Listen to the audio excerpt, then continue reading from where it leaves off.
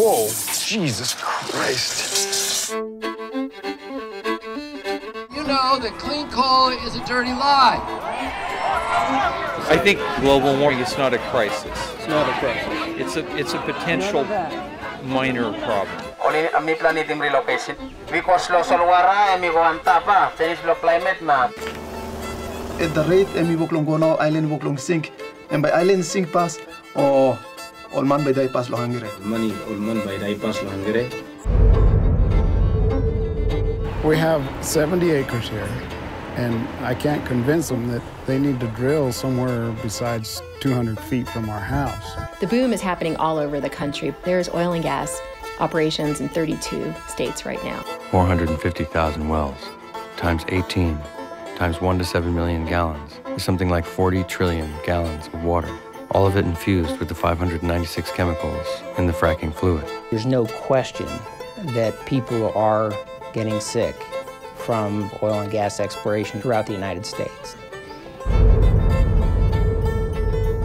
You're not my enemy, and I'm not yours. We're all victims of the same coal companies. It's just that you're on the top of the mountain and I'm down at the bottom.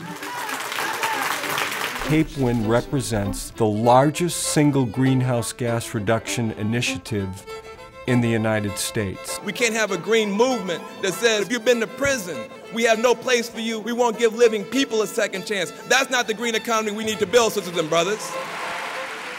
We think this is a good recycling project, if you will, you know, recycling urban land. I have a strong feeling about solar uh, actually being the new explosion for the future.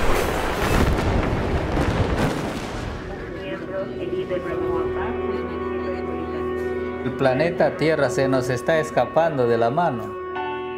This is not an easy thing.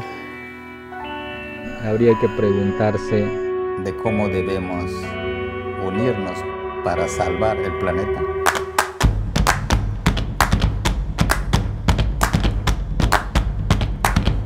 I don't want this to happen to my people.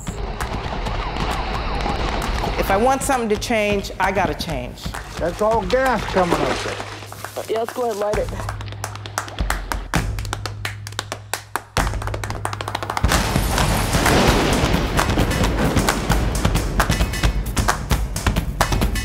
This is happening everywhere. I, that's the biggest thing I want people to know is you're not alone if this is happening to you because I'm in the same boat you are.